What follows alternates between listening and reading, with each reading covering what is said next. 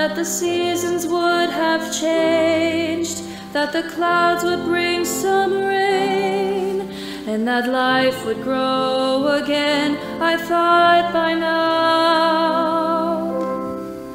that this wound would be a scar, we'd be farther than we are, and not so prone to fall.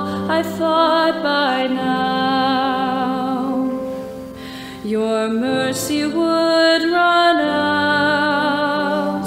I thought by now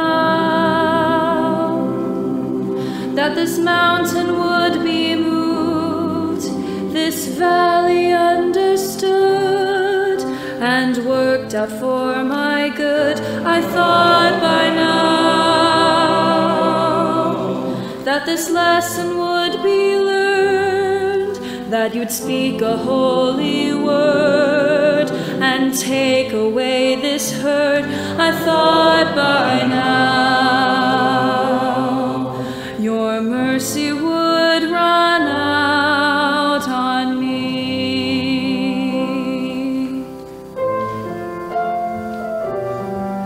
But